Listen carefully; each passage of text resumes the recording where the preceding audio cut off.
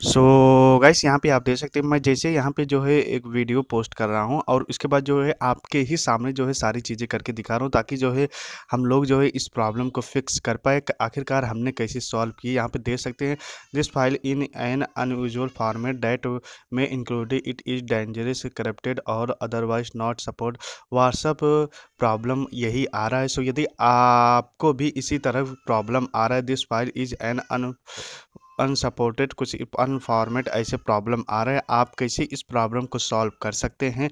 आज के इस वीडियो में आपको यही जानकारी देने वाला हूँ। सो so, यहाँ पे आपको करना क्या है? स्टेप बाय स्टेप आपको बताता हूँ। सो so, यहाँ पे दोस्त सबसे पहले आपको सेटिंग ओपन कर लेना। अब हो सकता है आपका स्मार्टफ़ोन जो है सेटिंग अलग कंपनी का हो क्योंकि आप अलग कंपनी के जो है फ़ोन इस्तेमाल कर रहे होंगे।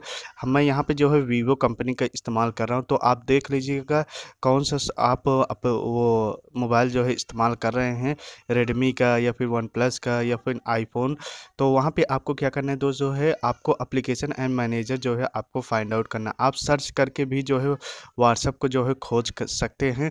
जी हाँ व्हाट्सअप को आपको खोजना है। फ़िलहाल यहाँ पे मुझे नहीं मिल रहा है तो सिंपली आपको क्या करना है सेटिंग को ओपन करना है अप्लीकेशन एंड परमिशन के अंदर आपको जाना है। अब आपको मैनेज के अंदर जाना है एम मैनेजर के अंदर, अब उसके बाद जो यहाँ पे आपको बहुत सारा अप्लीकेशन देखने को मिलेगा।